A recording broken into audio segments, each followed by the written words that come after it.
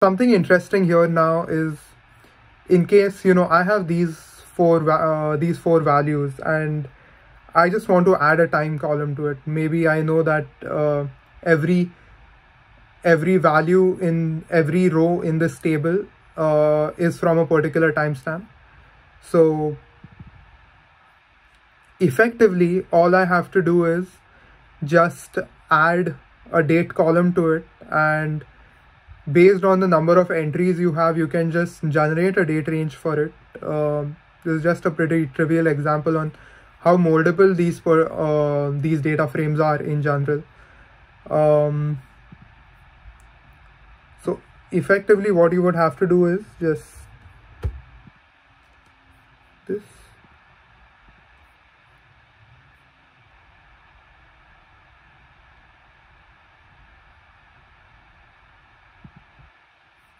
yeah so now you have the new data frame.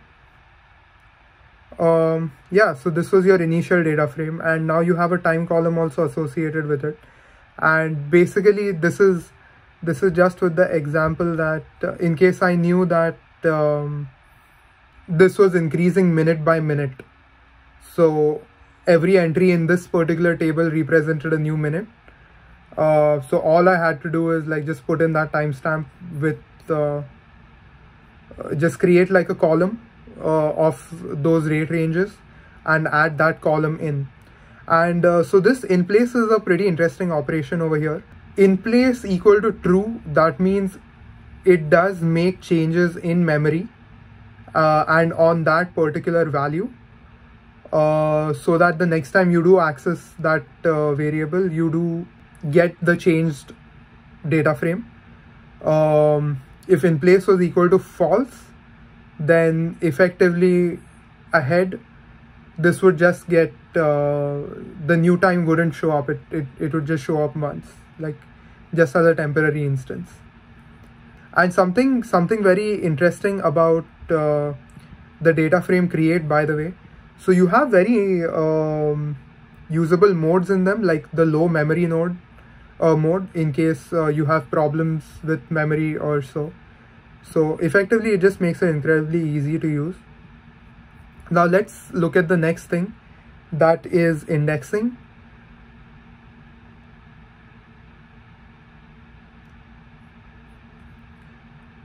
Yeah, so here we have indexing and uh,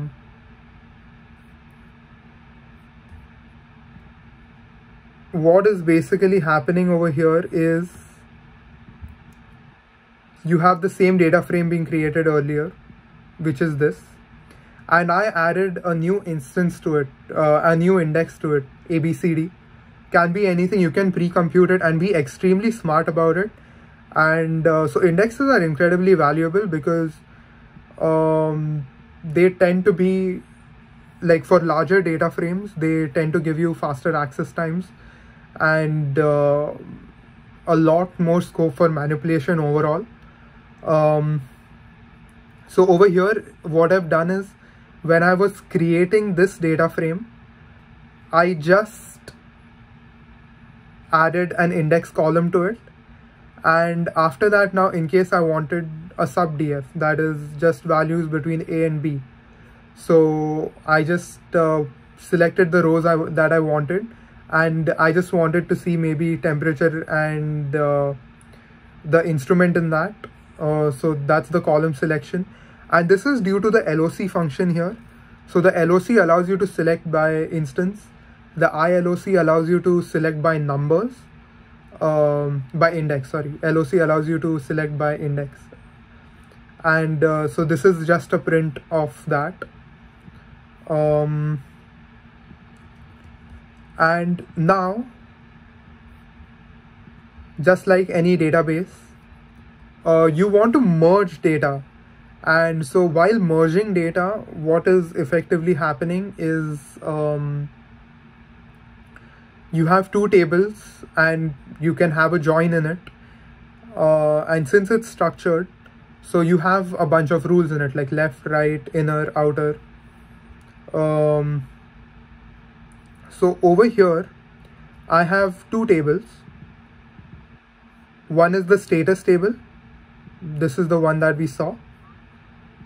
And I want to do a very simple operation here is for every robot I want to find out who is the operator responsible. So effectively over here I've just mapped every robot to every instrument to an operator. Um, in these two I'm creating two data uh, so I'm creating a data frame out of each and uh, they will go through a join. Uh, it's a simple join. And um, over here so now it will go through a left join because what I wanted is a left join. It can be anything you want. Just an example. Um, so you have to specify which table is the left which which table is the right. Um,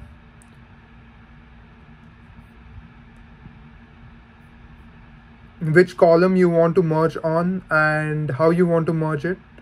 And you can have a merge and you can just print out the merge underscore df of it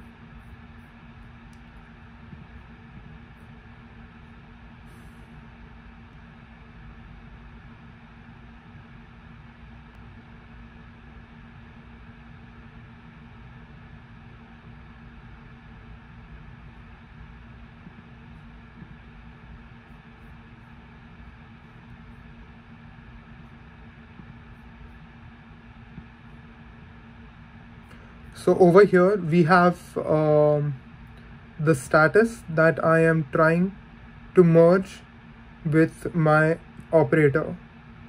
And now you have a new merge table effectively. So now you have the instrument charge temperature and operator. Um, Danfo makes it incredibly easy to use um, other forms of input also you can just uh, read from a CSV directly or read JSON. Um, you can read from an Excel directly. Um, and that is effectively, you just have to put a link to your uh, particular uh, object that you want to read, uh, its location uh, or file, file. And um, yeah, uh, it gives you a bunch of operations after this also that we'll cover up uh, in the following videos. And uh, then you can export it also into any kind of data that you want, which will also be covered in the series. So this was pretty much uh, everything on just getting started with Danfo, what Danfo is basically, and uh, things around it. Um, I hope you found this to be a very useful tutorial and I'll see you in the next part of the series.